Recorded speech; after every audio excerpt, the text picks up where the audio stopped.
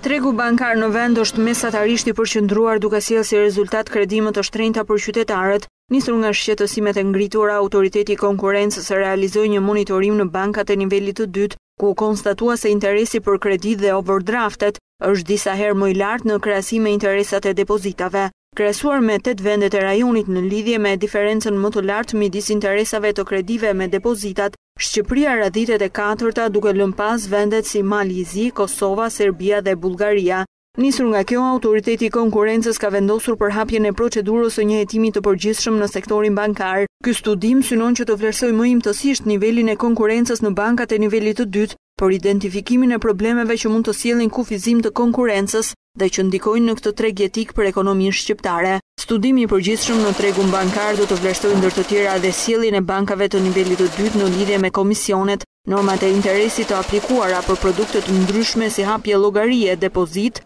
kredi apo transferta bankare. Autoriteti i Konkurrencës thekson se ndërmarrjet duhet të kenë parasysh që të mos përfshihen në marrëveshje të ndaluara, në formë të shkruar ose jo, pasi ligji për mbrojtjen e konkurrencës parashikon gjoba të rënda deri në dhjetë për qind të xhiros por gjithashtu ofron edhe instrumentin e lehtësimit të pjesshëm ose të plotë nga gjobat në rastet e bashkëpunimit me këtë institucion.